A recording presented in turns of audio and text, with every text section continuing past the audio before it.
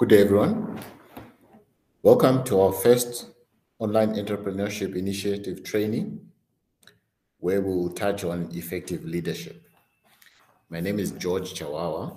I'll be your presenter during this course. In terms of individual introductions from the participant side, um, due to the numbers that have logged in, we will not have uh, time for each participant to introduce themselves. Um, but we will encourage you to just uh, on the chat include your name and the name of your organization and your location so that the rest of the group can familiarize themselves with you. Okay. Uh, just a bit on how we will approach the training. Uh, it, it will be online so the classes will be on will be held online via this Google platform, where we will share the links with you on the WhatsApp chat group that was created. There will be case studies that will be required to be done, both as individual and as groups. So during the course of the module, we'll, case, we'll, we'll share the case study uh, pamphlet for your attention. The class exercises will be done via the Google platform as well, where you will be required to complete uh, either multiple choice or detailed uh, responses during the class exercises. These will contribute to your overall assessment at the end of the course. We also encourage self-study um, via the study manual that we shared with the participants last week. Um, this is more comprehensive in terms of the content um, of the module. Um, and during the class, we'll just use the, um, the slides, which may be high level. So we do encourage you to prepare for the class um, through studying the self uh, um, study manual that we've provided. The, in terms of assessments, there will initially be individual assessments where you'll be required to complete the assessment by yourself as an individual, as well as group assessments where we may put you through breakaway groups and require you to complete the assessment as part of a group. Then at the end of the training module, you will then be required to write a final exam, which will then use to assess your progress during the course of this training. Uh, the final exam will also be used um, to assess who goes um, forward uh, to the next phase um, of the training. Right, so that is in terms of the approach. So just before we start, a few ground rules. Right, um, these are particularly important because this is an online platform. So first, we just want to stress, let's communicate professionally with others. Uh, the group is very diverse, um, different backgrounds, different locations, different level of education and that sort of thing, you know, different areas of operation. Um, so because of this diversity, you know, let's let's keep it professional. Uh, all communication be in one language, English, so that everyone um, understands your question and, and also learns from your input. Uh, very important, wait for others to finish before you speak um, so that we don't talk uh, over each other. And because it's online, uh, each time you speak, please state your name so that others um, will recognize who is talking. Right? Let's build on others' ideas and thoughts. Solutions will come from the group.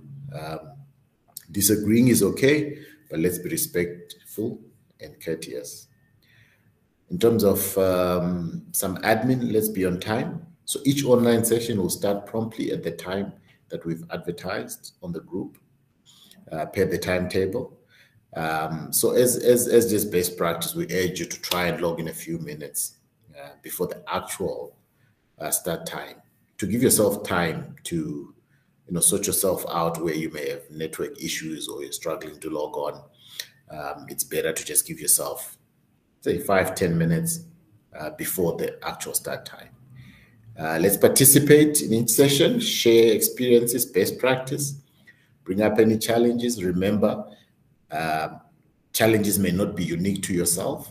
Uh, you might find some of the challenges that you're experiencing um, have uh, others have experienced the same or have solutions to some of those challenges.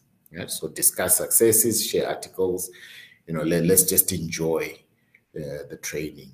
Um, and then if there's anything else that you want us to add in terms of the ground rules, you're more than welcome to type it in the comment section and we'll just incorporate that in terms of what we need to be mindful of. Right. So just in terms of your expectations from the module, would like you to uh, just jot down what, what, what your expectations or what you intend to get out of this training. Um, this is important in ensuring that we uh, set the classes properly, set the content properly, um, and also know where there may be gaps in terms of the, the, the, areas that we've covered and what you would like assistance with um, in respect to this particular module. So we just urge you to just jot down your individual expectations. Then we'll have a look and see that these are actually covered in the scope. And when they're not covered, we can always then incorporate them, um, say at the end of the second session, and then touch base on those as well. So where we see common individual expectations, we'll then take these to be the group expectations. Right. So if you can just jot those down and uh, the comments section. All right. Okay, so leadership. Um, so I'm just going to touch on, on the learning outcomes that we expect or that are expected of the delegates um, at the end of this module. So by the end of this module, the participants or students should be able to identify, compare, and contrast leadership models. So under here, we will touch on the different leadership models, right? We'll compare them, and under contrast, we'll see which situation suits which leadership model, which leadership model best applies to which leader, as well as which is the better leadership model for your own business. Right? So we'll then identify, compare, and contrast. So there are different leadership models that are applicable. We'll touch on each one of those. So again, by the end of this module, right, the students should be able to analyze the relationship between power and leadership and how to influence others. So three things here, power, leadership, and how to influence. We'll analyze the relationship between these three aspects and how they can be combined or used together in terms of providing effective or ineffective leadership. Right?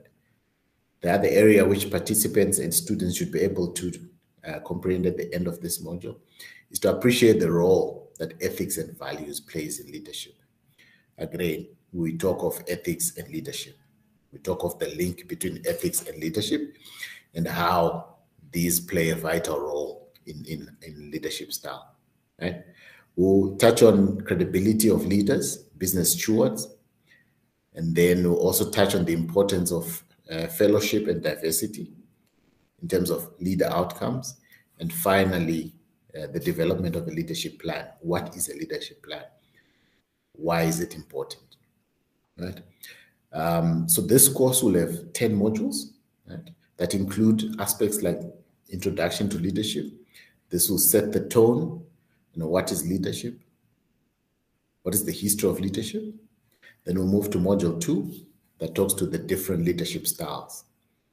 Right? We'll then touch on power and leadership, emotional intelligence, believing in something, honesty, integrity, and ethics, self-awareness, knowledge, wisdom, and intelligence. Then we'll close off through um, touching on diversity in leadership, leading different people, and finally stewardship. So these are the areas that we'll touch on in terms of the, the overall course. Right? We'll spread these areas um, over two sessions. Okay, introduction to leadership. So, to leadership. So this will be the first module that we will look at um, in terms of um, effective leadership. Right? Okay. So in terms of the learning outcomes, these are similar to the ones that we've touched on when we looked at the overall um, uh, course uh, outcomes. But specifically for this module, we should be able to define leadership and its importance, um, understand the relationship between power and leadership and how to influence others. Right? We're going to touch on credibility, you know, being a credible leader, right? And then we'll also close off by talking about ethics and values in terms of your leadership aspirations. Okay, so those are the areas that we'll touch on uh, under this introduction.